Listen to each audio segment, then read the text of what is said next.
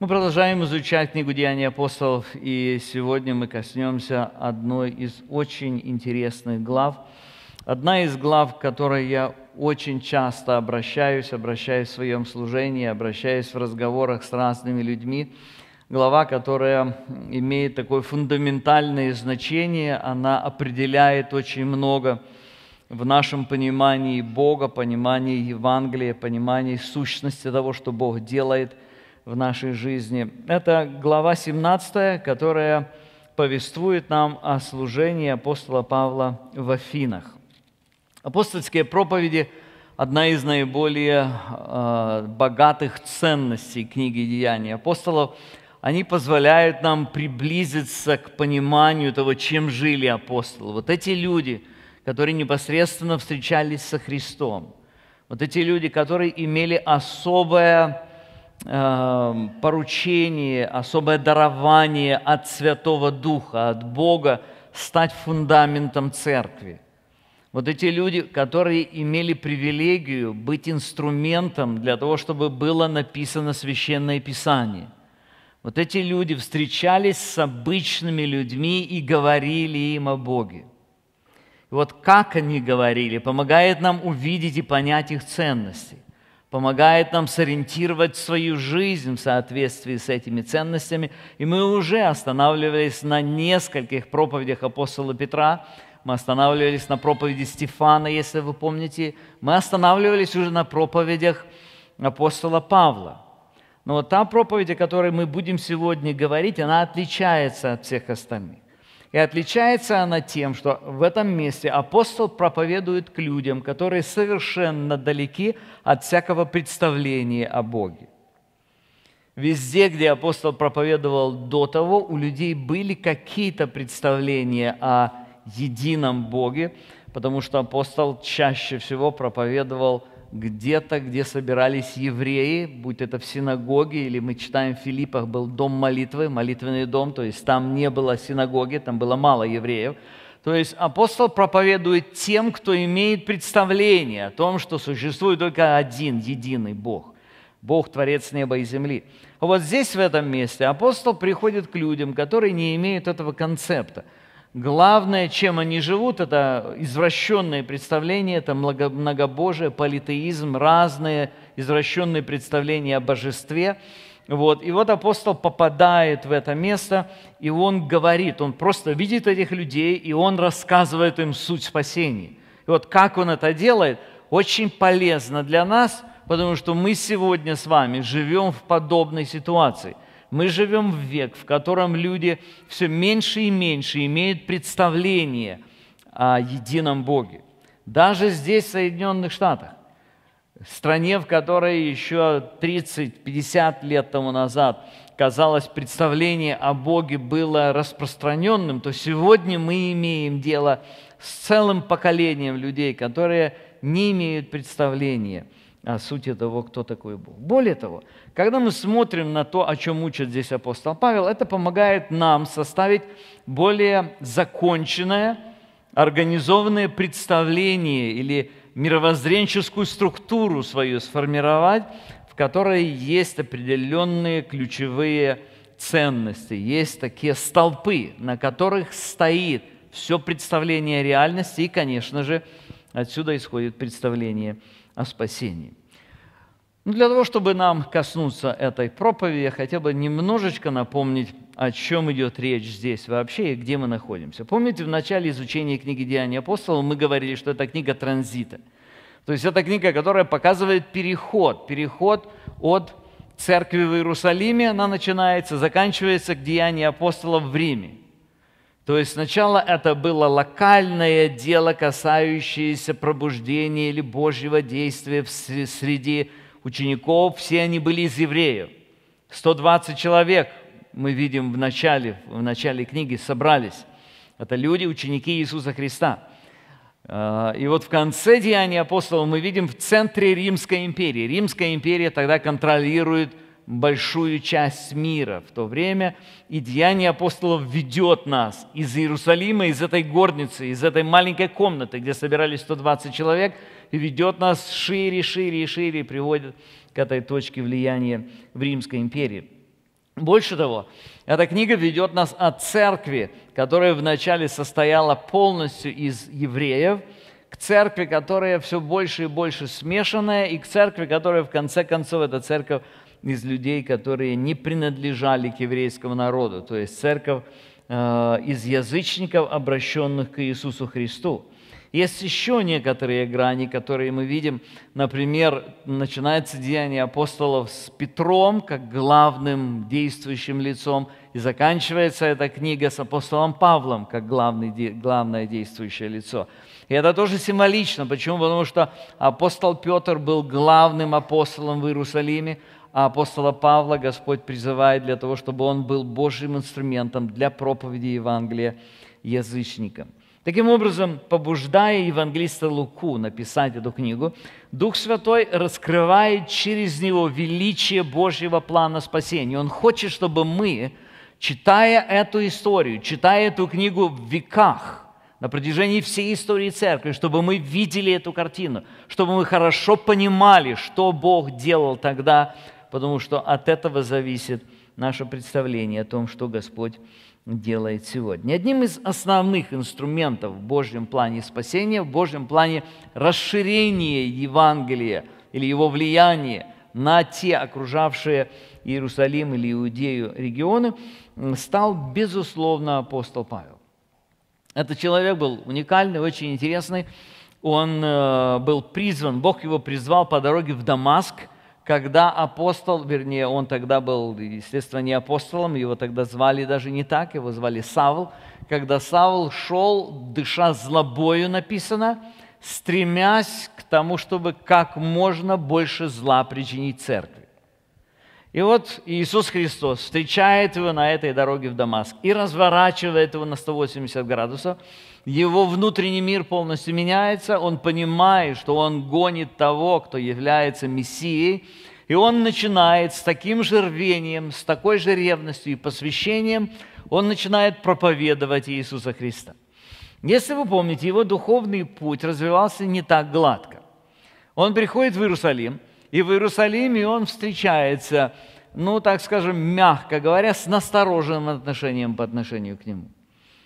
То есть э, апостолы, ученики, верующие в Иерусалиме, они очень хорошо помнят еще Стефана. Они хорошо помнят, кто охранял одежду Стефана. Они очень хорошо помнят, что этот человек причинил огромное, огромное зло церкви. И они вроде бы как бы и верят в то, что этот человек стал другим, но вот так, чтобы вот принять его в круг своих, вот не так легко это было дело. Нашелся один, правда, человек, добрый человек, его звали Варнава, и он как-то помогал, и у него даже имя дали такое, сын утешения, его звали Иосия, вообще-то оригинально, но его, ему дали имя сын утешения, нашелся этот человек, и вот Господь использовал его. Использовал его после того, когда Савл побыл какое-то время в Иерусалиме, мы знаем, что он ушел и ушел, возвратился в Тарс, к себе в тот э, место, в город, где он родился и вырос. Вот. И до этого, в какой-то период времени, он был в Аравии, скорее всего, мы не знаем точно, что там происходило, скорее всего, это была такая школа смирения, где Господь открывался ему, где Господь показывал ему зависимость от него, показывал ему, что он не своей силой, не своими э, риторическими способностями, не своими способностями организатора, лидера, которые у него, безусловно, были, э, достигает чего-то, а только Божьей силой, которая будет действовать через него. Вот. И потом мы, мы читаем о нем уже немножечко позже, уже э, тогда, когда возникла церковь, возникает церковь в Антиохии. Церковь в Антиохии была первая церковь, которая возникла на языческой территории, церковь, которая состояла из язычников в большой степени. Вот. И вот там, в этом месте, мы знаем, что э, после того, когда их учеников там стало много, из Иерусалима посылают Варнаву туда для того, чтобы он помог там развитию церкви. Варнава побыл какое-то время и понимает, что он не, не справляется с этим делом, видит, что дело очень большое, которое там, и по этой причине он посылает кого-то искать Савла. Савла находят в Тарсе, приглашает его в, в Антиохии, и вот там в Антиохии церковь развивается. Церковь развивается достаточно бурно, и эта церковь становится такой своеобразной базой базой, с которой апостол Павел отправляется в три миссионерских путешествия. Мы уже говорили о первом миссионерском путешествии. Если нам включат карту сейчас, то мы посмотрим. Вот это вот Антиохия известная. Маленький город сравнительно. Вот, вот Бог так распорядился. Вот почему-то ни в Дамаске, ни в каких-то других городах не возникло не возникла церковь из, из язычников. А вот где-то вот здесь в Антиохии сложились условия, где Бог решил, что эта церковь будет в Антиохии.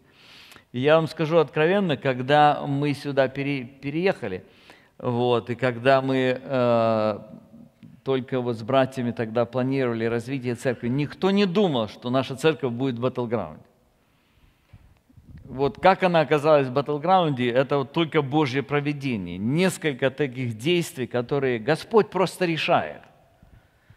И вот что-то подобное мы видим. Мы точно не знаем, но есть у Бога причина, почему это Антиохия, почему это именно это место.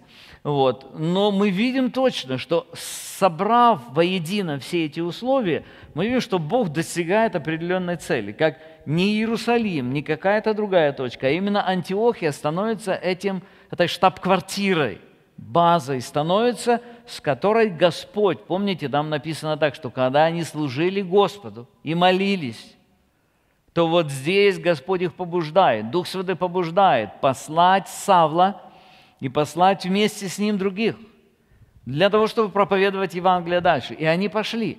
Помните, они поехали в Кипр, вот здесь на Кипре, они проповедовали здесь сначала, потом они вот, прибыли сюда в Памфилию, ничего не написано об этом городе, Дальше в Антиохии Писидийской, это еще один городок с таким же названием. Вот там проповедь, подробная проповедь апостола Павла описана. И потом они были в Листре, Иконии и Дервии. Вот эти три города здесь. Еще в этих городах возникли церкви. Они вернулись назад, вот сюда, в Антиохию. Это путешествие, первое путешествие продлилось около двух лет. То есть это не так, как сегодня. Поехали, за два месяца пробежали – поговорили, все решили, всем отпроповедовали, вернулись тогда пешком, тогда если на корабле, то ждешь попутного ветра, то есть это занимало много времени. Вот примерно два года заняло первое миссионерское путешествие, и за это время, время было, мы точно знаем, были основаны три церкви, Возможно, потом появились церкви вот здесь, потому что потом мы видим, что Варнава отправился на Кипр, когда Павел на второе миссионерское путешествие пошел. Мы точно знаем, что там были церкви потом. Вот. Но самое главное то, что был сделан шаг миссионерский. Сознательный, направленный миссионерский шаг, который вот с этого места из Антиохии возник. Через примерно год после того, когда апостол и его команда вернулись в Антиохию, примерно через год Господь побуждает их снова идти, и там ясно сказано, они говорят, мы пойдем и посетим церкви. Посетим церкви, здесь написано следующее, посмотрите, 4 эм, стих 16 главы. «Проходя же по городам и преподавали верным соблюдать определения, поставленные апостолами и пресвитерами, и церкви утверждались верою и увеличивались числом». А в 36 стихе 15 главе написано, «По некоторому времени Павел сказал Варнаве, пойдем опять посетим братьям наших по всем городам, в которых мы проповедовали Слово Господне». То есть они идут, чтобы утвердить эти церкви. И они так и делают, они проходят через Старс, прошли, они пришли в Дервию, в Листру, они пришли в Иконию, они пришли в Антиохию, и потом после этого написано, что они пошли, вот это место называлось тогда Малая Азия. Вот. А, это территория современной Турции. Все это территория современной Турции. И они пытались как-то здесь проповедовать. Мы не знаем, куда они пошли. Куда... Мы знаем, что потом, э, во время третьего миссионерского путешествия, апостол вот здесь вот вокруг, это Ликаонская долина, вот Лаодикия, видите, вот здесь вокруг Ефеса, там образовались много церквей, но мы точно знаем семь церквей в Откровении – Вот. Но во втором миссионерском путешествии апостол предпринимал попытку где-то здесь проповедовать, и не получилось. Написано, дух их туда не допустил. Потом они стали пробовать вот сюда, они дошли вот сюда, даже в Вифинию и Понтию, пытались пойти. Но снова написано, дух не допустил их туда. Мы не знаем, как это проявлялось. Мы не знаем, это было Э, действие, сверхъестественное действие Божье э, апостолу Павлу как, как человеку, как э, Божьему пророку. Вот. Или же Бог использовал обстоятельства, но каким-то образом Он не допустил, что апостолы что они не, не проповедовали ни здесь, ни здесь. Они пришли вот сюда, в Траду, написано, спустились в Траду. И вот там Бог дает сон апостолу Павлу, муж македонянин, который говорит, приди и помоги нам. То есть ему становится ясно, нужно идти с проповедью дальше. Вот здесь есть территория, где он хотел проповедовать. И Бог, мы знаем, потом открыл двери, и здесь была проповедь. Но сейчас, на данный момент, Господь призывает его на вот эту, эту территорию. Э, мы знаем, что во время второго путешествия э, с апостолом Павлом путешествует Тимофей, который присоединяется к ним вот здесь, где-то в Листре, вот в этой точке. Вот, Тимофей молодой человек, совсем молодой человек, он присоединяется как помощник, как ученик, как тот, кто посвящает свою жизнь служению. Он увидел важность служения, он захотел, чтобы его жизнь была посвящена служению. Апостол призывает его с собой. И мы видим, что с ними путешествует Лука. Вот этот человек, который стал автором Деяний апостолов. Лука был врачом. Мы не знаем, то ли он пошел с самого начала э, из Антиохии вместе пошел с Павлом, то ли он присоединился позже. А, но вот только в 16 главе мы читали в, прошлый раз, в 16 главе мы видим, как повествование начинает вестись от первого лица – то он всегда говорил от третьего лица, он, они, а теперь он начинает говорить мы. Э, посмотрите в 10 стихе 16 главы. После этого видения тот час мы положили отправиться в Македонию. Кстати, очень интересно, что Савол или Павел не сам принимает решение. Мы положили. То есть там, по всей видимости, был какой-то разговор – вот у этой команды, включая Луку. И они предпринимают вот этот, этот шаг. Когда они переправляются в Македонию, Македония – это территория современной Греции. Естественно, Македония связана с э, греческими правителями известными, так называемый Александр Македонский. Это не только, он не единственный был греческий завоеватель, его отец, там династия целая была, там история большая была завоеваний. То есть был период, когда Греция правила. Сейчас, в данное, в данное, в данное время правит Рим. То есть римляне захватили власть, они свергли греческую власть. Римляне захватили власть, или после того она была раздроблена, эта греческая власть. Римляне захватывают, создают свою империю. Но вот эта часть, она продолжает в огромной степени нести в себе греческую культуру. Там очень много вещей, которые мы наблюдаем, вот даже читая Деяния апостолов, мы видим этот, это мировоззрение, мы видим, чем они движимы, мы, мы видим их ценности, ценности, которыми они жили. Первым городом в Македонии, э, где была основана церковь, стал город Филиппы. Вот здесь этот город, и мы подробно говорили об этом в прошлый раз. В этом городе не было синагоги, был только молитвенный дом. Причина этого в том, что там не было достаточно евреев, чтобы сделать церковь, вернее, сделать синагогу. Поэтому несколько женщин, скорее всего, наверное, вообще только женщины были там. И они, у них был молитвенный дом, где они собирались и читали закон, и, и говорили о Боге, и молились. Молитвенный дом для того, чтобы молиться. Вот. И мы видим, что Павел со своей командой находит этих людей, проповедует, Бог дает обращение – видим, что там образовывается церковь, и э, потом, позже мы читаем послание к филиппийцам, послание к этой церкви, видим многие э, вещи, которые описаны, то, что происходило в этой церкви. После того мы, мы читаем, что встретились апостолы с сопротивлением. Это сопротивление было связано с изгнанием беса. Помните, там была девушка, одержимая духом, которая пророчествовала, вот, и апостол Павел изгоняет этого беса, И тогда те, кто владел, это была служанка, те, кто ее, ее владельцы, они поняли, что они потеряли доход, то есть экономические причины были этого гонения. Они воздвигли гонение, Павла и Силу арестовывают, бросают э, в тюрьму, и там садят во внутреннюю темницу, то есть в самую сложную камеру, заковали их в колоду, написано, то есть жесткие условия болезненные поставили. И вот именно там случилось то, о чем мы много раз вспоминаем, часто, что Павел и Сила, находясь в тяжелейших условиях, они славят Господа и поют. Они поют. Это говорит нам о том, что их внутренний человек, он полностью настроен на общение с Богом, он не ориентируется на внешние обстоятельства. По-человечески говоря, они были близко к тому, что их миссия окончилась, и, может быть, вообще земной путь даже окончился. Но они фокусируются на Господе, они знают, что Бог определил их путь, они знают, что Бог определил начало и конец, и они знают, что Бог точно так, как допускает им быть в заключении, точно так их освобождает. И мы знаем, что произошло землетрясение, э, темница отворилась, двери темницы, и у апостола Павла и у Силы была возможность засвидетельствовать темничному стражу – он обратился, его домашние обратились к Господу.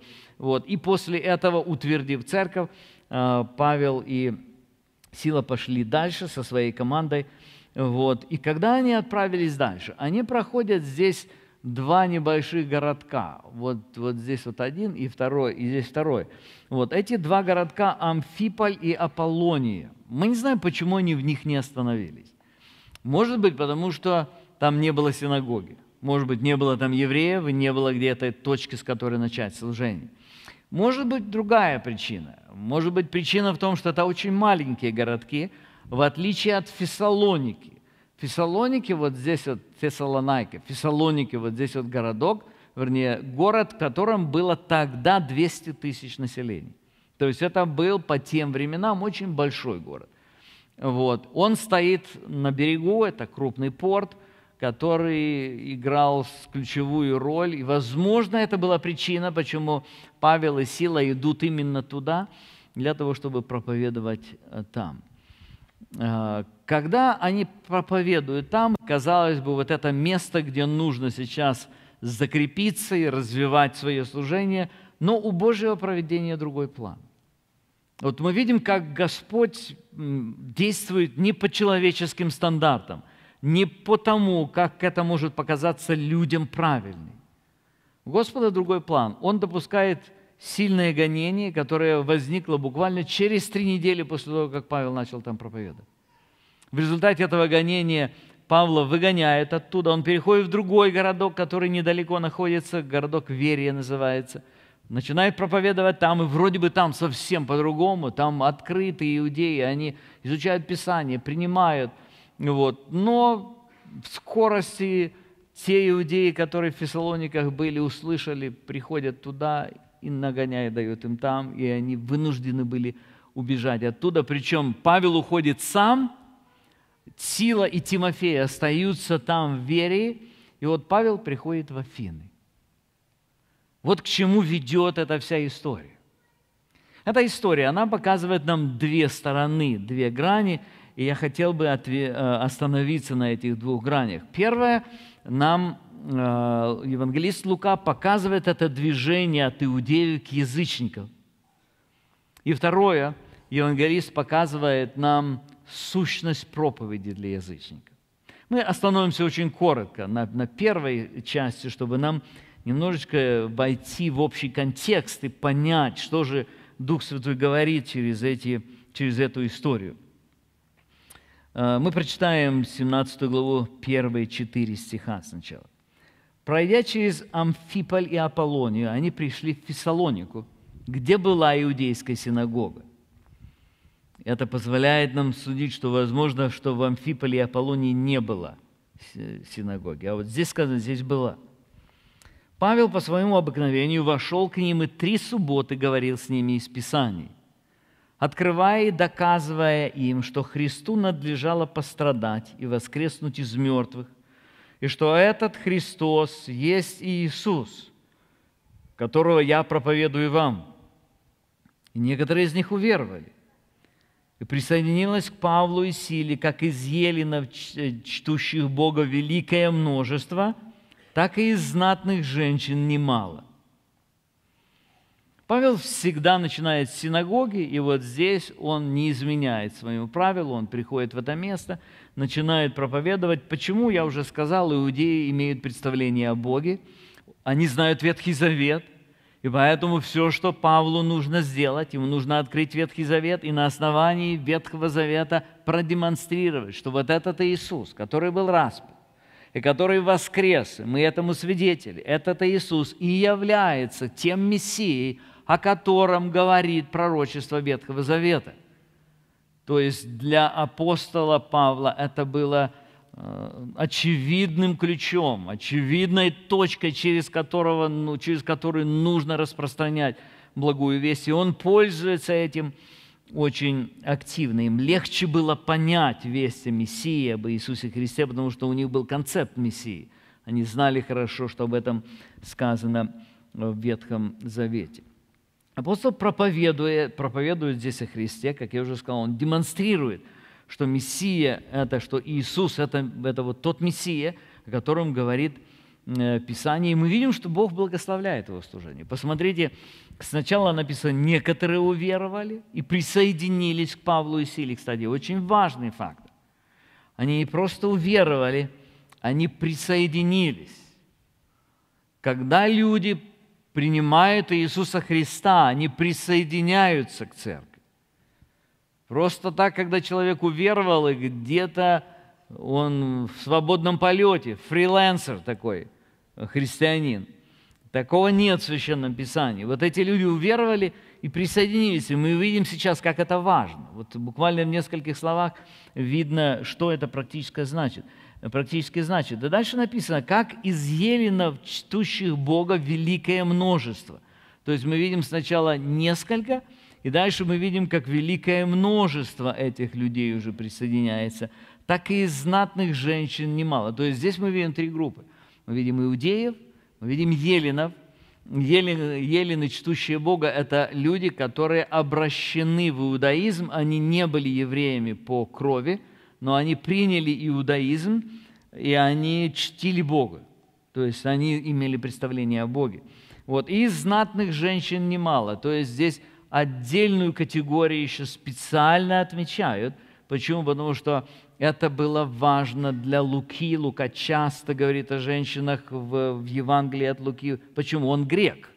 И он понимает, что в греческой культуре этот вопрос был в очень в римской культуре. Женщины были практически почти что имущество. И для него это очень важно. Он показывает в Филиппах, специально говорит о том, что от женщин там началось движение. И здесь говорит из знатных женщин, то есть люди, которые из благородного рода, немало присоединилось. Он подчеркивает или описывает процесс. Когда мы изучаем первое послание к фессалоникийцам, то мы видим, что служение апостола Павла в этом месте было чрезвычайно эффективным. Это вообще очень удивительное дело. Вот они пришли, они служили там, ну, три недели, может быть, чуть больше, мы не знаем, может быть, пять недель, если начать, что они в воскресенье пришли, и потом их выгнали тут, оттуда через, э, за неделю после того – вот, ну месяц, ну полтора месяца. Вот они совсем немножечко были там в этом, в этом городе. Ну смотрите, что произошло. 1 Фессалоникийцам, первая глава, мы читаем с 5 стиха. «Наше благовествование у вас было не в слове только, но и в силе и во Святом Духе, и со многим удостоверением, как вы сами знаете, каковы были мы для вас между вами. И вы сделались подражателями нам и Господу, приняв слово при многих скорбях с радостью Духа Святого. Так что вы стали образцом для всех верующих в Македонии и Ахаи. От вас пронеслось слово Господне не только в Македонии и Ахаи, но и во всяком месте прошла слава о вере вашей в Бога. Так что нам ни о чем не нужно рассказывать. Вот это короткое служение, служение апостола его группы в этом месте, это короткое служение, оно произвело такой мощный эффект. То есть Бог использует – Так что вот эти люди, которые обратились, их служение, оно стало очевидным, их, их вера стала очевидной, их жизнь стала очевидной, их, их жизнь приобрела влияние. Такое влияние, что написано, смотрите, от вас пронеслось Слово Господне не только в Македонии и Ахае, но и во всяком месте прошла слава о вере вашей в Бога. То есть эти люди, они стали известными ничем другим, не какой-то деятельностью. Они стали известны своей верой. А это были люди веры, которые верили, верили Богу. Но это служение было непростым. Здесь написано, смотри, при многих скорбях. Очень важная, кстати, деталь. При многих скорбях с радостью от Святого Духа. Это очень важная деталь. Друзья, служение всегда связано с трудностью. Почему связано с трудностью? Потому что дьявол противится любому служению. Любое служение возьмитесь, вот пока сидите, ничего не трогаете, кажется, все спокойно. Только зашевелилось что-то. И так вы сразу соприкасаетесь с самыми разными проблемами. Люди как-то ведут себя не так, обстоятельства складываются по-другому, здоровье там где-то сдает, всякие разные проблемы, которых очень много – Причина этого, как я уже сказал, любое служение – это духовная брань. И поэтому дьявол, конечно, бросает все усилия для того, чтобы как-то подавить служение, каким-то образом выбить человека из колеи, каким-то образом заставить его унывать, обижаться, раздражаться, ждать лучшего времени, критиковать и так далее. Самые разные причины есть. Но посмотрите, что происходит здесь. Здесь сказано, что приняли слово при многих скорбях, но с радостью от Духа Святого. То есть эти люди, они сразу же научились радоваться от Святым, Святым Духом. Они, конечно же, у Павла этому научились. Павел только что пришел с Филипп. В Филиппах он только что был закован в кандалы, в эти в эти колоды. И там, находясь в этих колодах, они, молясь, воспевают Бога, они прославляют Бога. То есть у них был всегда такой дух высокий, дух, радующийся о Господе. Они не фокусировали или не связывали свой дух с обстоятельствами, которые вокруг, как бы они плохо не, не, не складывались. И по этой причине церковь в Фессалонике, она в скорби, но радуется. Радость в Святом Духе. И по этой причине они и имели такое влияние на окружающих людей. Апостол описывает, вернее, евангелист Лука описывает подробно, в чем же была эта проблема, в чем это противодействие выражалось. Пятый стих, посмотрите. «Но не уверовавшие иудеи, возревновав, взяв с площади некоторых негодных людей, собрались толпой и возмущали город. И, приступив к дому Иосона, домогались вывести их к народу. Не найдя же их, повлекли Иосона и некоторых братьев городским начальникам, крича, что эти всесветные возмутители пришли и сюда. А Иосон принял их, и все они поступают против повеления Кесаря, почитая другого царем Иисуса. Здесь мы видим типичную картину, которой уже много тысяч лет, как дьявол преследует верующих людей. Типичная картина. Обычно – настоящие причины, которые вызывают, вызывают это преследование, они сводятся или к экономическим интересам, то есть кто-то теряет деньги, как это было в Филиппах, помните? Эти люди стали терять деньги, потому что Павел изгнал беса из этой служанки. Или же это политические причины, кто-то теряет влияние. Или же это религиозные причины. То есть кто-то тоже теряет влияние, но свое религиозное влияние или идеологическое еще бывает. Мы видим, эта религиозная причина действует здесь. То есть неуверовавшие иудеи, они написано возревновав, то есть они как? Нашу веру. Здесь вот националистический элемент, элемент религиозный. Не допустим никаким образом. Но когда мы наблюдаем вот за этими всеми картинами, конечно, мы можем делать анализ, почему это происходит, как это, кто возмутился, как это выражено было, какой был а, масштаб преследования и так далее. Но мы знаем, что во всем этом действует Божья рука. Если бы Бог не держал, то все это зло, оно бушевало бы и смело бы с лица земли всю Божью работу. Но Бог держит, и поэтому Он позволяет в одном месте немножко проявиться или в другом месте проявиться. И в данном случае, смотрите, интересная картина. Они, конечно же, возмущены одной причиной, националистической, религиозной, но предъявляют городским начальникам совершенно другую. Ту же самую причину, которая была, или обвинение, лжеобвинение, которое было предъявлено Иисусу Христу, когда привели его к Пилату. То есть говорят, они выступают против римской власти. Здесь мы читаем, всесветные возмутители, возмутители пришли сюда, они против повеления кесаря и другого царем называют Иисус.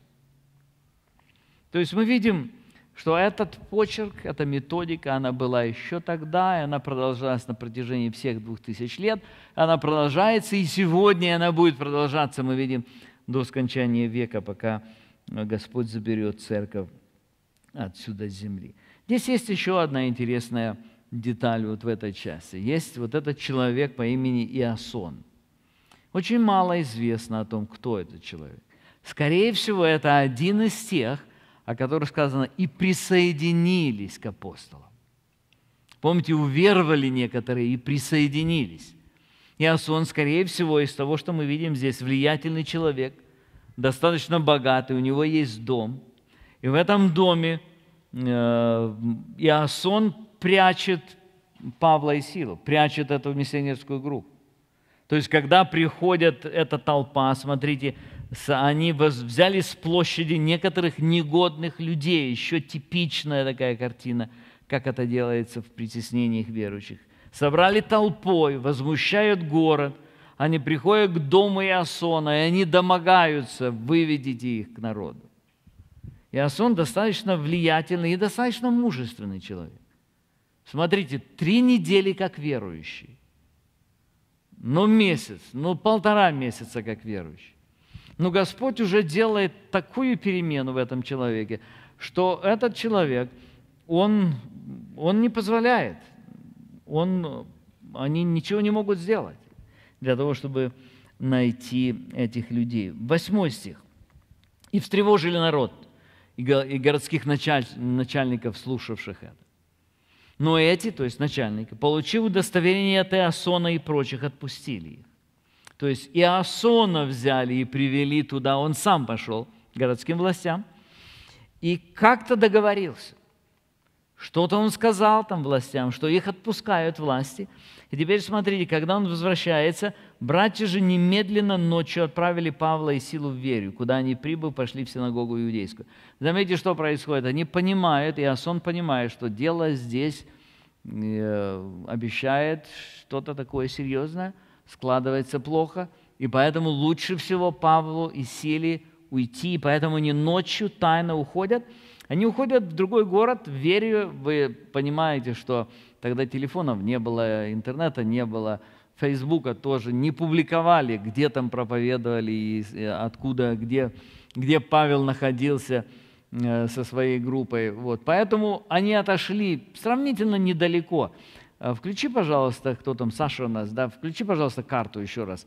Мы посмотрим, где Верия находится. Вот смотрите, Фессалоника, вот здесь Верия. Она не на берегу, она чуть-чуть от берега. Вот здесь примерно, наверное, ну, миль, миль, наверное, 50 от, от Фессалоники до Верии. Вот. Конечно, это мы так читаем, что они ушли в Берию, но это, это они ушли, то есть они шли и шли и шли, это, это не знаю сколько, ну, пару дней, наверное, как минимум туда. Вот. Они уходят в Верию, ну, посмотрите, что происходит. В Верии происходит то же самое. Вот еще раз посмотрите этот 10 стих. Братья же немедленно ночью отправили Павла и Силу в вере, куда они, прибыв, и куда они идут? В синагогу иудейскую. Они идут, продолжают делать свое дело. У них дело ясное, они проповедуют Евангелие. Они пришли для того, чтобы проповедовать Евангелие. А, здесь ситуация складывается по-другому. Слушайте, что здесь сказано. Здешние были благомыслие фессалоникских. Они приняли слово со всем усердием, ежедневно разбирая Писание, точно ли это так. Я часто слышал, как этот стих цитируют, когда говорят о том, что нужно проповедников проверять. Вот проповедники, гости разные приезжают, и вот они проповедуют, и нужно разбирать Писание и проверять, точно ли это так. Конечно же, нам всегда нужно проверять Писание, но здесь ситуация складывается совершенно другая. Представьте себе иудеи,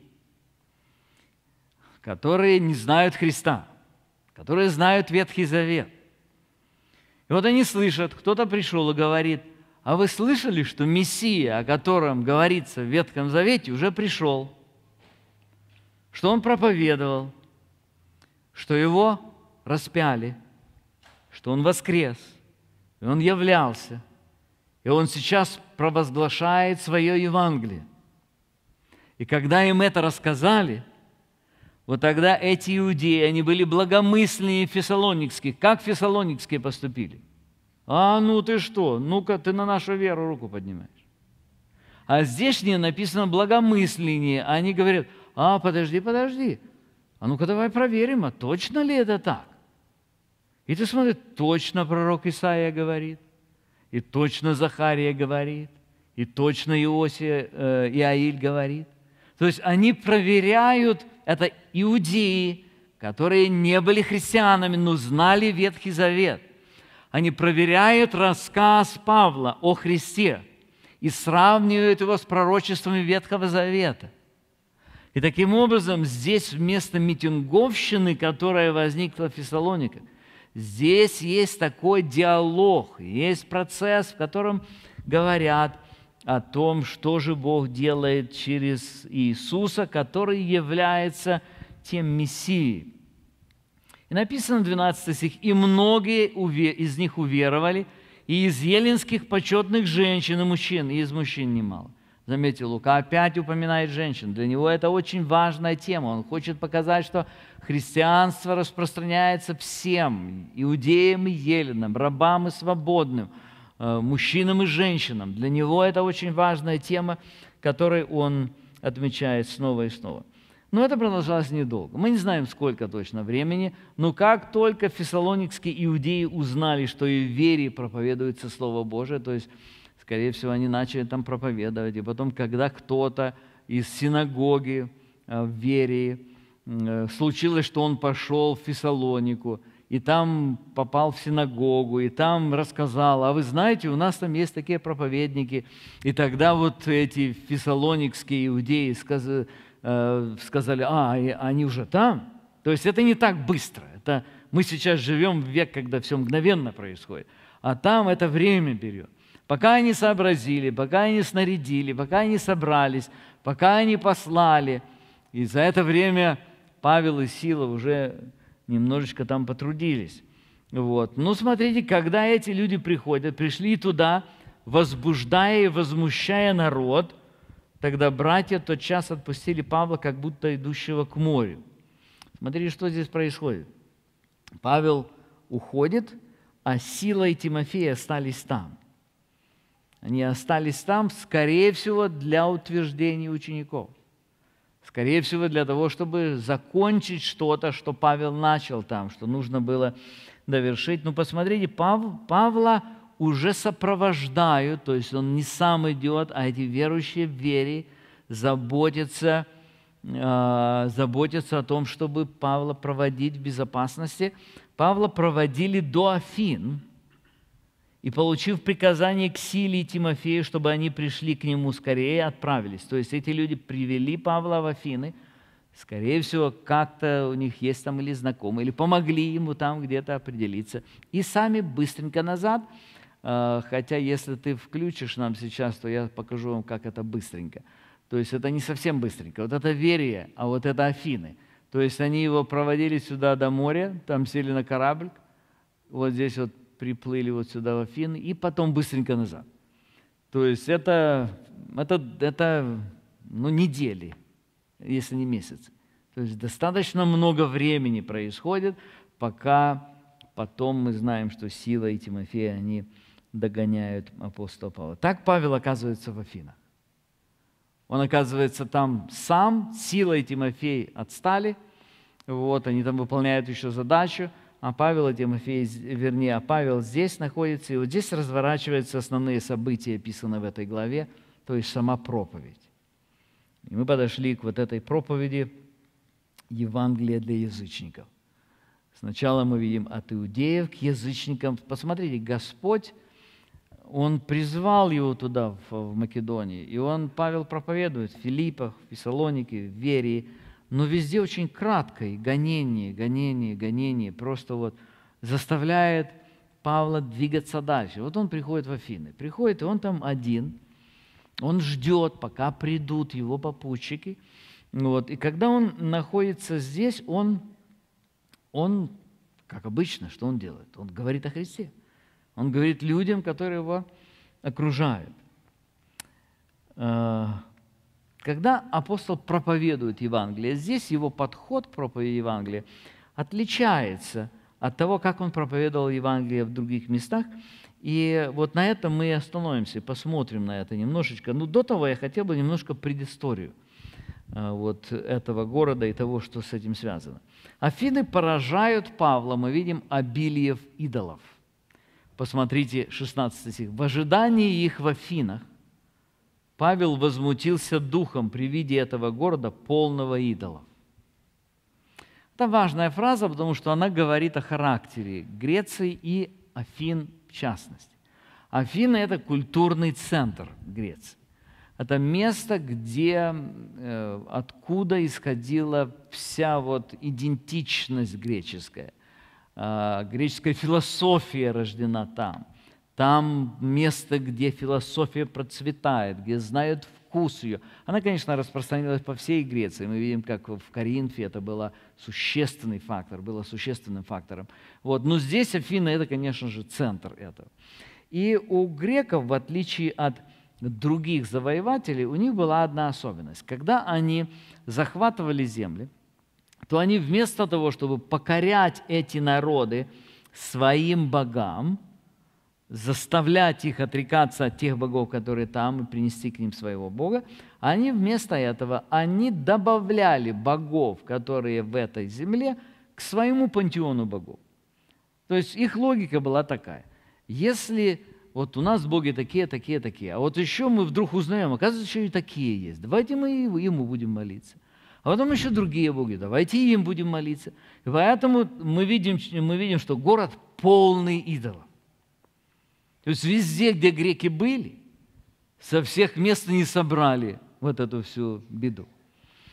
У нас дома на холодильнике у нас такая стане есть э, хобби такое. Когда мы бываем в каких-то городах, мы покупаем магнитик из этого города. Не во всех, конечно, удается купить, но у нас уже некуда их вешать. Уже эти две дверки, которые, куда можно прилепить, их некуда уже вешать. Вот ты смотришь, что там полно всяких вещей, которые говорят о каких-то местах. Вот я представляю теперь город полный, но только не магнитиков, а идолов. Того из Египта притащили, того из Месопотамии, Месопотамии э, того из других каких-то мест притащили. Самые разные боги ветра, боги дыма, боги огня, боги дождя, боги плодородия, боги любви, боги войны, самые-самые разные, боги бизнеса, успеха, порчи, всякие разные. И когда апостол находится там, в этом городе, полном идолов, смотрите, что он делает. Итак, он рассуждал в синагоге с иудеями и с чтущими Бога. То есть он, видя все это дело, он говорит о всем этом, говорит с иудеями, чтущие Бога, то есть это елены, обращенный в иудаизм. Он рассуждает, он рассуждает о чем? Об этой ситуации, об этой идольщине всей. И, конечно, он говорит там об Иисусе Христе. Но в этот раз он не только рассуждает в синагоге, но, смотрите, и ежедневно на площади со встречающимися. Причина, почему это происходит здесь, заключается в том, что Афины отличались тем, что они любили новые идеи. Э, немножко позже, ниже написано, что они ни в чем охотнее не проводили время, как в том, чтобы слушать что-нибудь новое. То есть, когда им кто-то что-то новую какую-то идею. Вот они на площади, эта площадь была таким местом идеи, где приходили, ну, это чаще всего на базарах делалось Раньше это всегда, базар это было место, где обмен идеями был. Вот люди приходили купить какой-то товар, и здесь встретили, узнавали новости. Это, это был и Facebook, и Twitter, и телевидение, и радио. Все было там, на базаре. То есть приходили и узнавали. Кто-то пришел с одной стороны, купец кто-то привез с востока, там, с юга, и еще откуда-то. Вот. И вот это такая площадь, но в данном месте, на, на этой площади, там, там идеи, обмениваются идеями, они слушают, они говорят – они рассуждают, как здесь написано. Вот. И как мы видим, что рассуждают на очень серьезном уровне. Посмотрите, 18 стих. Некоторые из эпикурейских и стоических философов стали спорить с ним. То есть это не просто купцы на базаре. Это не просто люди, которые пришли, уши развесили, послушать, что же им там сейчас нагрузят. Это философы. Философы, которые слушают идею, проверяют ее, спорят с ней, возражают, пытаются обогатить свою точку зрения. И здесь сказано о двух конкретных группах философов. Эпикурейцы – это философы, последователи Эпикура. Они учили о том, что главной ценностью человека является избежать боли и достичь максимального удовольствия. То есть они практически смотрели прагматично на жизнь, они не верили в вечную жизнь, они не верили в то, что что-то будет после гроба. Они говорили, ешь, пей, веселись, вот э, достигни того, чтобы максимально уменьшила боль и чтобы в максимальной степени увеличить удовольствие. Это одна группа была людей. Им противостояли другие люди – а, и их название стоики, название это движение, они последователи тоже э, философа, которого звали Зенон. Вот. И вот эти люди, они исповедовали совершенно другую философию. Смысл этого был в следующем. Они говорили, ну вот как вы не хотите избавиться от боли, вы же не можете от нее избавиться. И как вы не хотите получить максимум удовольствия, вам же не удается получить максимум удовольствия. Поэтому они говорят, не-не-не, смысл жизни человека в другом. Смысл жизни человека заключается в том, чтобы сформировать в себе самом безразличие к боли и безразличие к удовольствию. Вот откуда понятие такой стоический характер, то есть человек как стоик подходит, то есть он выносливо, не реагируя на боль, не реагируя на какие-то неудобства, то есть э, эти люди, они говорили, что главное в том, чтобы изменять себя, тренировать свой характер, тренировать свои чувства, чтобы ты не зависел от того, больно ты не показываешь, э, ты, тебе что-то удовольствие манит, вот, ты не бежишь туда. Ты можешь сказать «нет», ты, ты человек, который управляешь обстоятельствами, и не обстоятельства управляют тобой. То есть две противоположных философии, но у них есть общий корень. Общий корень заключается в том, что они видят смысл жизни в том, что здесь на земле. Хоть одни, хоть другие. Они понимают, они измеряют свою жизнь вот тем, что происходит здесь.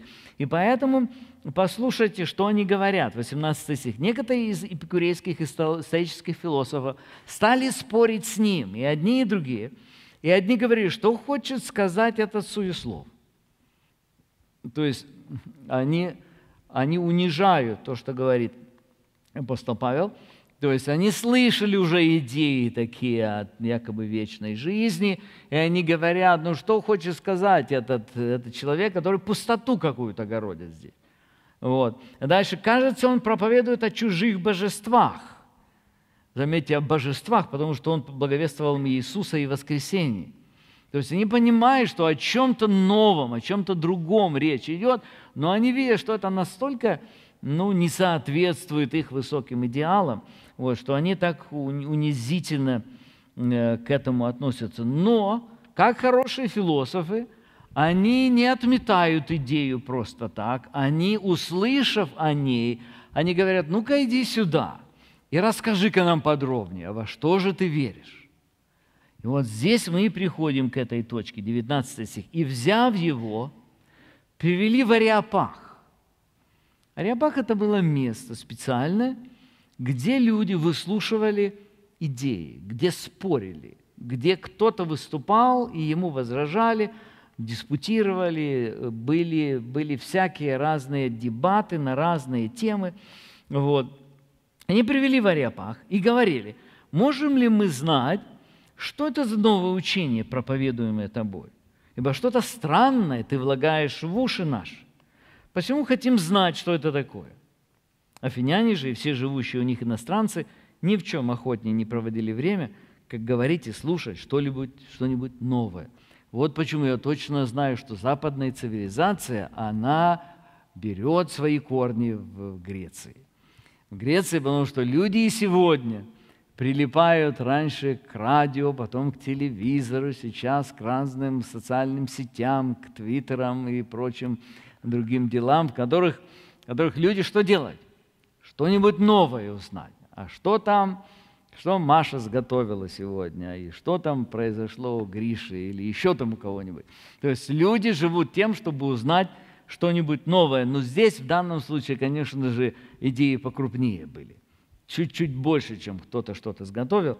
Ну вот, это идеи о взгляде на жизнь. И вот здесь мы видим замечательную презентацию апостола Павла, которой он объясняет христианский взгляд на жизнь. Чрезвычайно важная вещь. Я хотел бы остановиться на нескольких ключевых вещах. Во-первых, мы посмотрим на подходе апостола Павла к проповеди, как он подходит к этому. Во-вторых, мы немножко коснемся самой проповеди. И в-третьих, мы посмотрим на реакцию на эту проповедь. Очень интересно, что апостол когда он обращается, его поставили в Ариапаге, когда он обращается к этим людям, он говорит в состоянии, которое только что было описано такими словами. Помните, мы прочитали, что при виде этих города полного идолов апостол, что написано? Возмутился духом. Это во-первых. Во-вторых, его только что а, а, обозвали суесловом. Пустышка какая-то. То есть его унизили. И вот апостол, несмотря на то, что состояние этих людей, они где-то во мраке греховности, несмотря на то, что эти люди унижают его, возвышая самих себя, апостол приходит к ним, и он говорит с ними абсолютно спокойно и очень уважительно.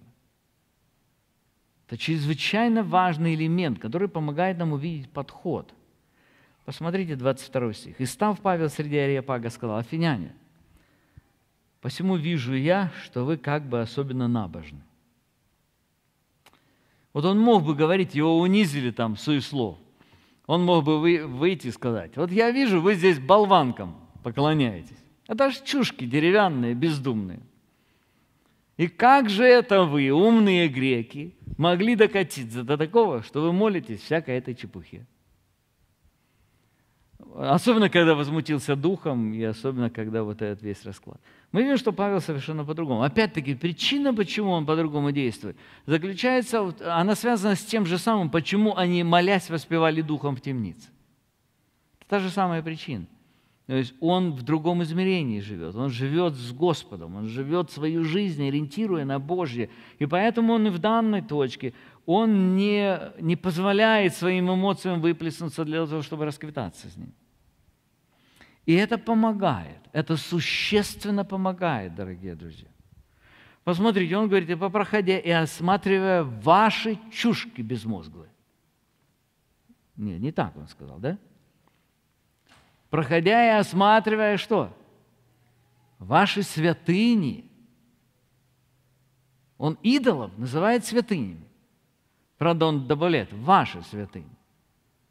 Проходя и осматривая ваши святыни, я нашел жертвенник, на котором написано неведомому Богу.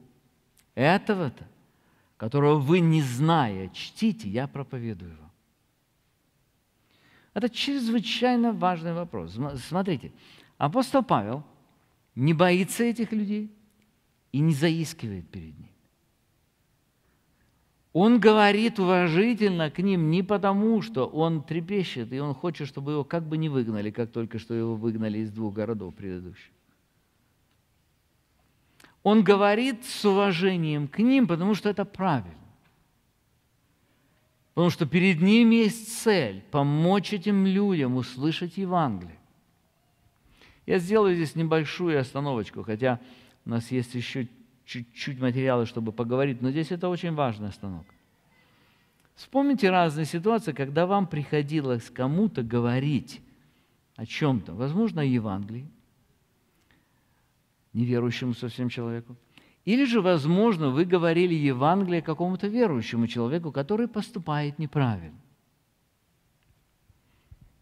Так вот, смотрите, успех вот этого дела напрямую зависит от того, насколько мы в нашем духе сможем иметь это упование на Господа и спокойствие в сердце. И уважительное отношение, заметьте, уважительное к кому у него отношение? К еретикам, вернее, к людям, к язычникам, к людям, которые не знают Бога, смеются над Богом, смеют. Они только что Христа унизили. Кажется, Он нам какого-то божества проповедует, а мы Иисуса и воскресение. Но Он подходит с большим уважением. И заметьте, Он подходит не в том, что сейчас, а, подождите, да, точно, и каким-то образом, да, ваши боги тоже хорошие, и им тоже можно молиться. Абсолютно не так. Он подходит и говорит с уважением, но он говорит очень ясно. У него есть позиция, которая абсолютно не подвержена сомнению. И только тогда и можно эту позицию представлять, когда вот это спокойное и глубокое отношение. Смотрите, апостол находит точку, он смотрит на все, что происходит, он видит разные боги. И греки, они, они же были умные люди. Вот. И когда они видели, что уже со всех земель богов собрали, и они, будучи умными людьми, они знают, скорее всего, где-то есть то место, где мы еще не были. И там есть еще какой-то Бог, которому мы здесь не молимся.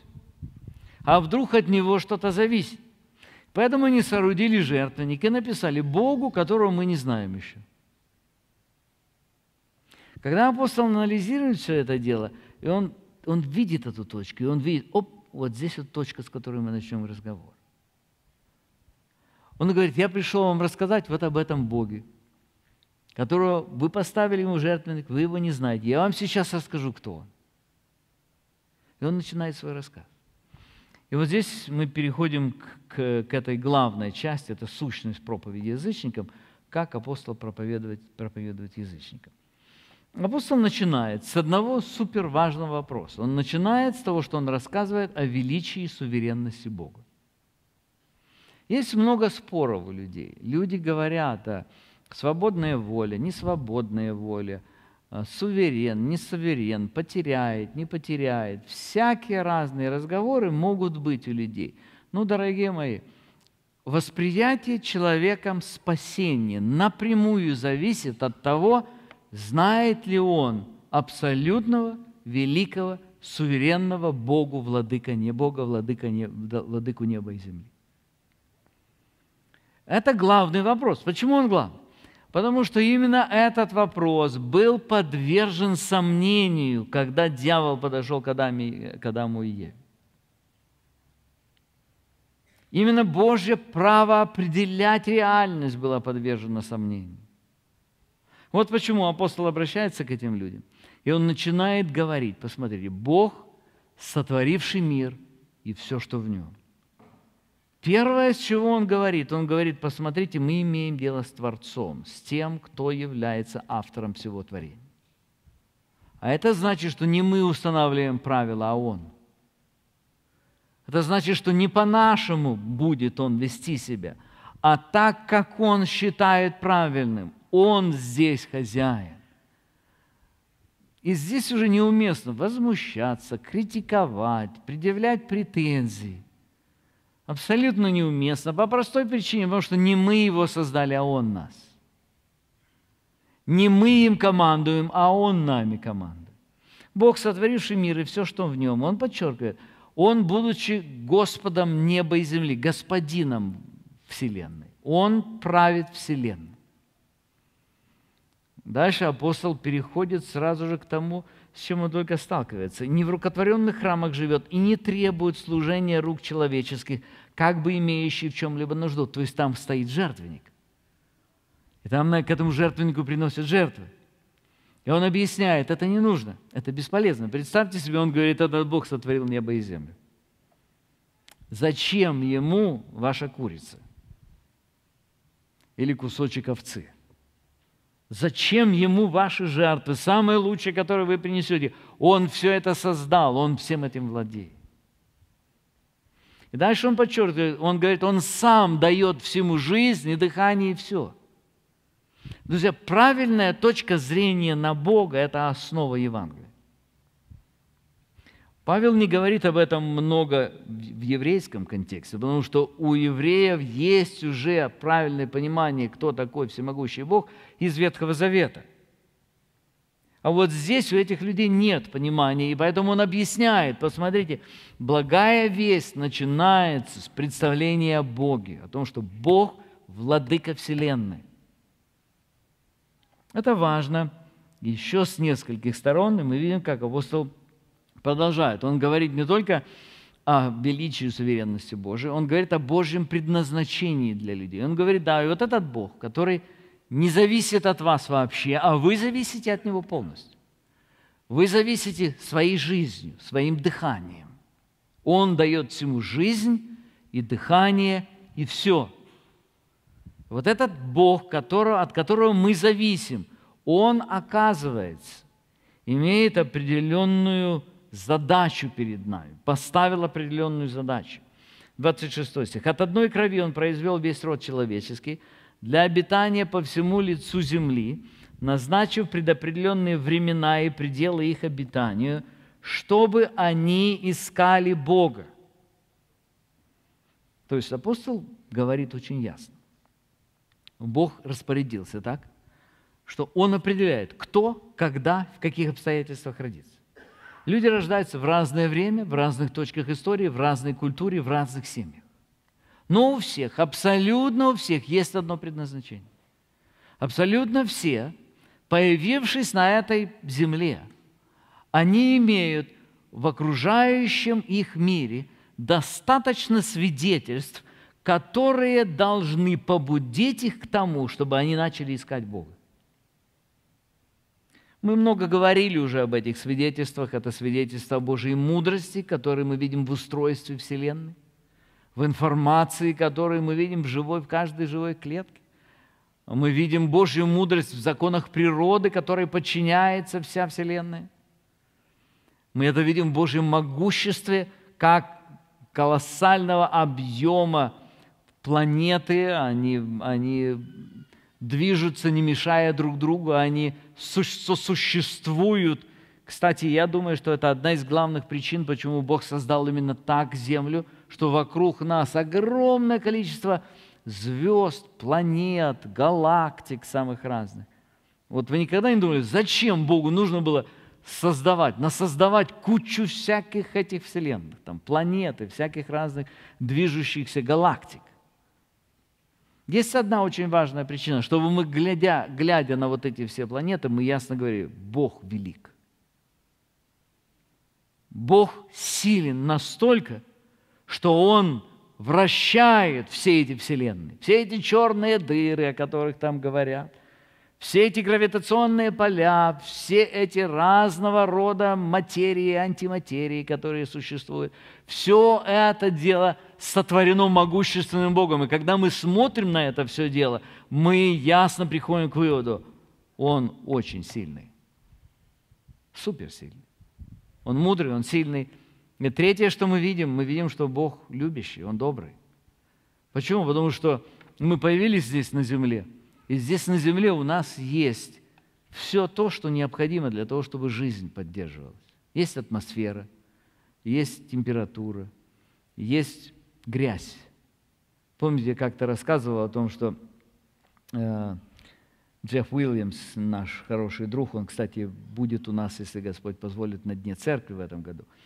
Вот, он рассказывал мне о том, что почему невозможны вот эти вот экспедиции, там, которые на Марс летают, почему там нельзя жить? Он говорит, там грязи нет. Ну, вот нам бы было хорошо, если бы грязи не было, да?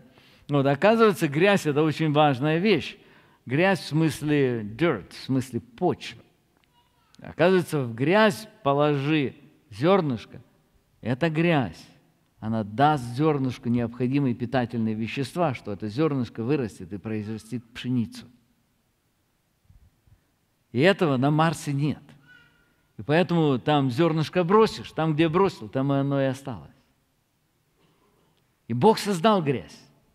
И Бог создал вот этот процесс, который способен произвращать, произвращать э, продукты питания. И много-много другого хорошего Бог создал здесь на земле. То есть человек, каждый человек, видя это, он должен разумно сказать, что за всем этим должен быть тот, кто все это создал. Вот что значит слова, чтобы они искали Бога. Ибо Он недалеко от каждого из вас. И Он даже приводит, э, приводит пример их, их же собственного поэта. Он говорит, ибо мы им живем и движемся и существуем, как и некоторые из ваших стихотворцев говорили, мы его и род. То есть он говорит, эта идея существует глубоко у вас там где-то в истории мысли греческой. То есть Бог определяет, кому, когда, как родиться, в каких условиях. Одни богатые, другие бедные, одни здоровые, другие болезненные. Самые разные обстоятельства. Но у всех одна задача. Бог предопределил для каждого, чтобы они искали Бога. Все могут искать Бога. Это главная цель. И последнее, третье, что мы видим, о чем говорится в этой проповеди. Значит, первое, он говорит о величии суверенном, суверенности Бога, дальше Божье предназначение для людей. Вот, то есть вы существуете здесь не сами по себе. Вы существуете не по своей программе – Ваша жизнь вам не принадлежит. Бог ее вам дал для определенной цели. И это основа Евангелия. Дальше, исходя из этого, апостол призывает к покаянию. 29 стих. «Итак мы, будучи родом Божиим, не должны думать, что божество подобно золоту или серебру или камню, получившему образ от искусства или вымысла человеческого. И заметьте, вот здесь он приходит и говорит. Он говорит о тех богах неправильных. Ну, перед, перед тем, как к этому прийти, он перед этим заложил основание. Он ясно показал, что означает настоящий Бог. Итак, оставляя времена неведения, то есть он говорит, теперь я вам это объяснил. Теперь вы знаете. Итак, оставляя времена неведения, Бог ныне повелевает людям всем повсюду покаяться. В чем покаяться? В своем неприятии Бога. Покаяться в том, что мы думали, что мы сами правим здесь на земле, мы сами определяем смысл, цель своей жизни. Он говорит, покаяться, потому что Бог сотворил вас, и у Него есть определенная задача, чтобы вы искали Бога. Покаяться в том, что не искали Бога до того. Но Он на этом не останавливается. Заметьте, Он говорил, ибо Он назначил день который будет праведно судить Вселенную. У нас есть класс а, такой для, а, для крещаемых, или фундамент веры называется. Он сейчас проходит, Дима его проводит, кстати, где-то в какой-то комнате, не знаю. Так вот, мы пресвитера, кроме того, что Дима там проводит, мы еще по отдельности разговариваем с каждым с кем-то я разговариваю, вот с тремя в этот раз, вот там другие братья встречаются и говорят. И, и вот когда я говорю с этими молодыми людьми, и не только с ним, когда я им объясняю сущность, вот что значит быть спасенным. Я им объясняю, что речь идет вот о чем. Это не просто так, что вот ты подумал и решил, ну хорошо, ну это убедительно, ну это менее убедительно. Речь идет вот о чем, что в данной точке ты или будешь спасен, или ты станешь точкой, станешь объектом Божьего наказания. Это вполне реально. Некоторые люди говорят, адом пугать – это как бы нечестный подход. Ты заставляешь людей страхом спасаешь. Друзья мои, ад – это реальное явление. И мы все должны сделать, чтобы помочь другим туда не попасть. Христианство это не просто так. Вот ты можешь в такой культурной схеме жить или вот немножечко по-другому. Апостол ясно говорит, ибо он назначил день. Нам нужно знать, дорогие друзья, что день назначен. Для каждого человека день назначен, котором праведно будет судить Вселенную. Посмотрите, здесь он начинает говорить об Иисусе Христе. До этого места о Христе еще не было сказано.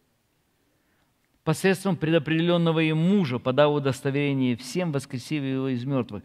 Апостол начал говорить здесь о Христе, мы видим, что ему не дали дальше сказать.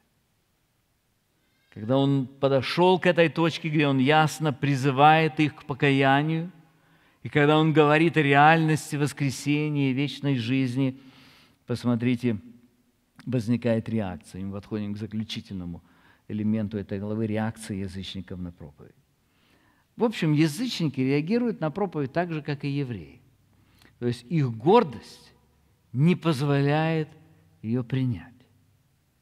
В данном случае – они в своем высоком самомнении, эти стойки, эпикурейцы, они стали насмехаться над словами апостола, 32 стих.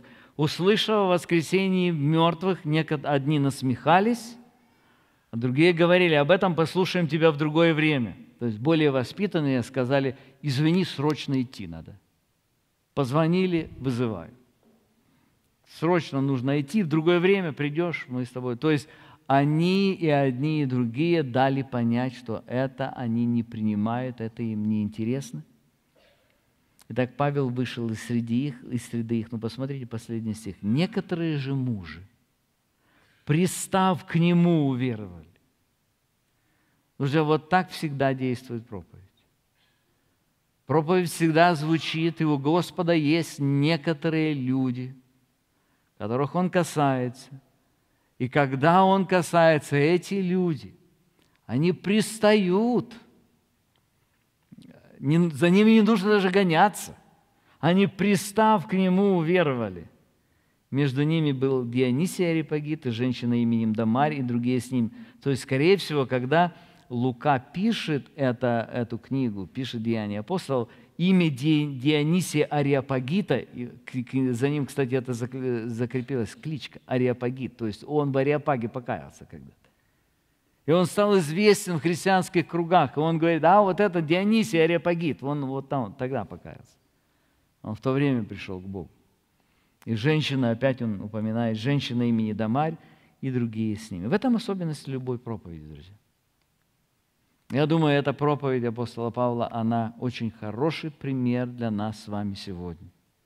Нам нужно говорить о великом Боге, владыке неба и земли, зная, что не все будут это принимать.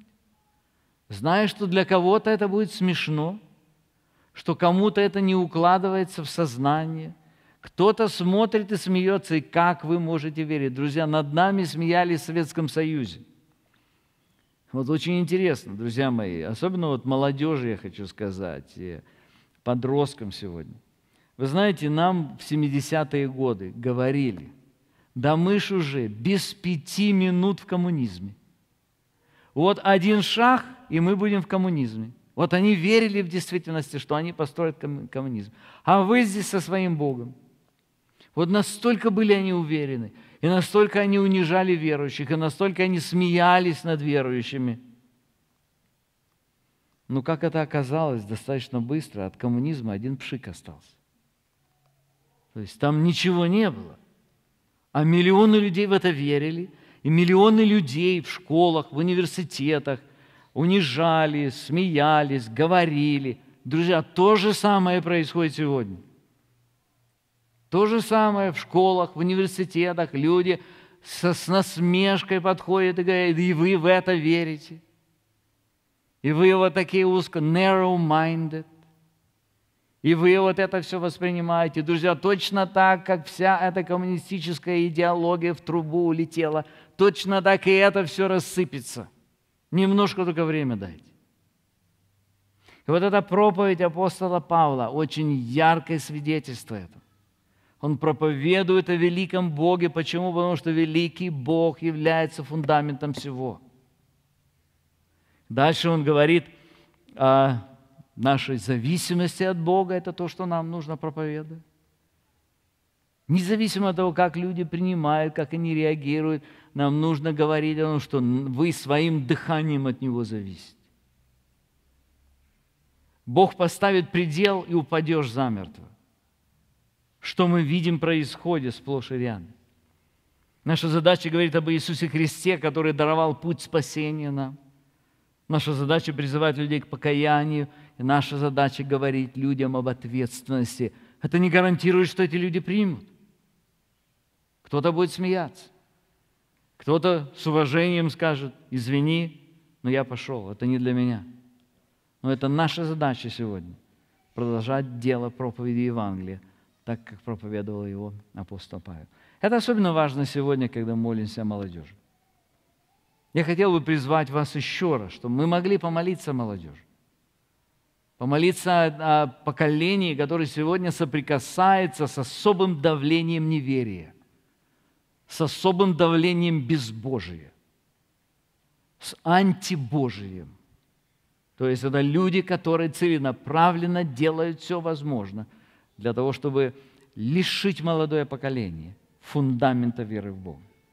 И мы, Церковь Иисуса Христа, мы должны сделать все для того, чтобы защитить тех людей, которые находятся в нашей духовной ответственности. Мы склоним наши колени сейчас и помолимся.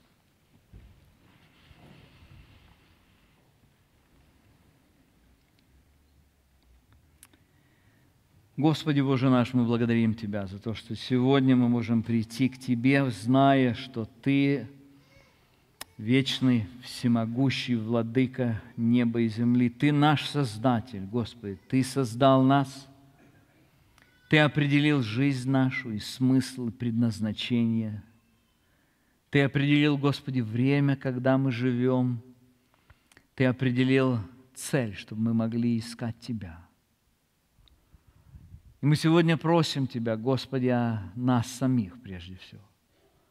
Просим Твоей милости, Господи, яви ее к нам, чтобы мы сегодня могли не попасть под влияние этого бушующего мира идей с его безбожием, с его человекоцентризмом, с его нежеланием преклониться пред Тобой, признать Тебя как всемогущего владыку Бога.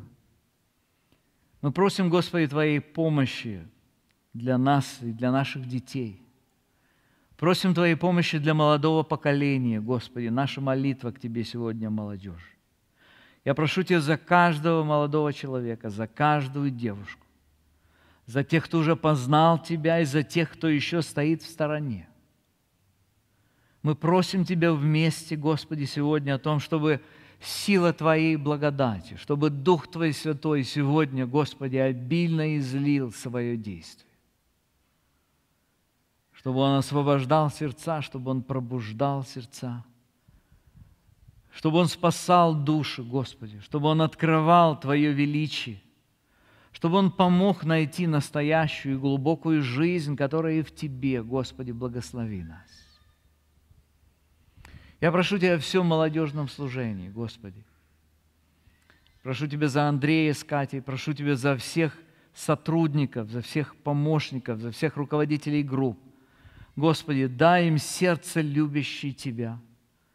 Дай, Господи, им глубокую уверенность и убежденность в Тебе. Дай, Господи, им выносливость и силу для того, чтобы в этом мире, в котором так много всякой суеты и всякого давления – они могли фокусироваться на Тебе и на жизни Твоей, на следовании за Тобой. Самое большое, Господи, прошу Тебя, исполни их силой Духа Твоего Святого, чтобы они радовались Тебе, чтобы они видели Тебя и то, что Ты говоришь и что Ты делаешь целью и смыслом жизни своей. И чтобы они стали инструментом, через который Ты действуешь. Господи, благослови нас. Благослови церковь, благослови, Господи, весь народ Твой. Мы просим Тебя за христианский мир, просим Тебя за эту страну и просим, просим Тебя за христианский мир в целом. Господи, помоги нам сегодня иметь эту твердую уверенность в Твоем владычестве и в Твоем величии, чтобы мы могли провозглашать великого Бога и спасение, которое Ты совершил через Иисуса Христа. Просим Тебя обо всем этом во имя Отца и Сына и Святого Духа. Аминь.